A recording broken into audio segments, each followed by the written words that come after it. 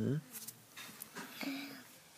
Už, tak, Ondo, něco říkej. Filmuju, nafilmuj se. Ahoj. Jiřík vám poví, jak to šlo ve školce. Hm, tak jo.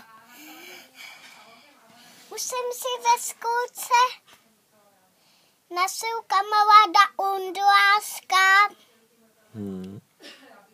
a, a šli jsme na hřiště. Ulati Bozický, kde je konečná zastávka.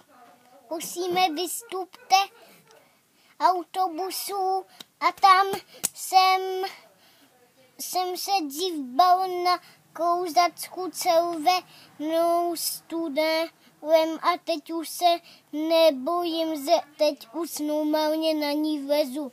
Dřív jsem se bál totiž ty tubičky. Že tam byla tma? Ne, nebyla tam tma, bylo tam se to, ale do té tubičky jsem se bál. Hm. A proč?